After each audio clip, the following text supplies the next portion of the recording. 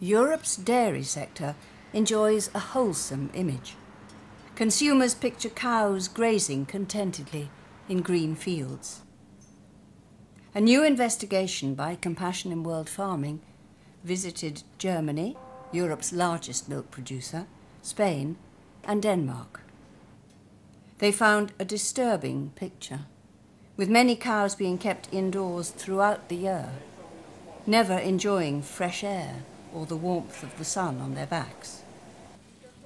Others are out in the fields during the grass growing season, but come indoors for the winter months. In some cases, their indoor housing is very poor. Often the farms are barren and uncomfortable with no straw or other bedding. All too often, the floors are filthy and unhygienic. Sometimes manure gets onto the cow's hind legs and udders. Cubicles that are too short for the cows are common. This forces the cows to lie or stand with their back legs in the passageway. Some cows suffer from swollen joints or sores and wounds. Others are lame, which can cause great pain. Today's cows are pushed to such high milk yields that many suffer from a range of health problems, including lameness and disease. The pressures on these high yielding cows are so great that many are utterly worn out after just three or four milk cycles and are prematurely culled. In Denmark, we visited 22 farms. In 15 of them, the cows are kept indoors throughout the year, all too often in barren conditions.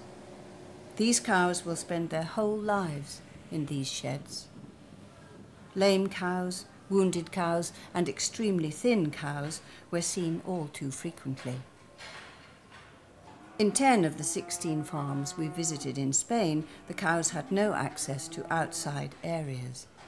The indoor conditions are often inadequate, with overcrowding and dirty floors. In some Spanish farms, cows' tails are docked. This is illegal under EU law. Docking is painful and makes it impossible for the cow to protect herself from flies. In Germany, many cows are tethered in chains in small cubicles.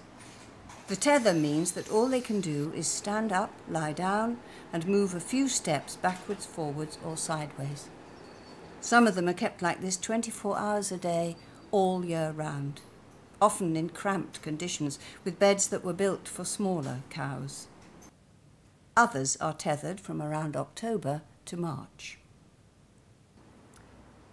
In this German farm, not only are the cows tethered, but their hind legs are shackled to give support for weaker cows that have trouble standing up on slippery floors.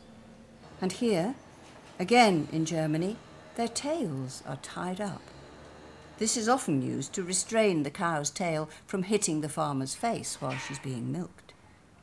But keeping the tails tied up all the time is uncomfortable and makes it difficult for the cow to protect herself from flies. In order to produce milk, a cow has to have a calf. Shortly after birth, calves are usually separated from their mothers as her milk is destined not for her calf but for human consumption. Often the calves are kept in barren conditions without bedding. The problems we saw are unlikely to be confined to just three countries. We fear that they can be found in a number of member states. Many cows are still kept outdoors in summer, where they can behave naturally, grazing, exercising, and socialising in groups with as much personal space as they want.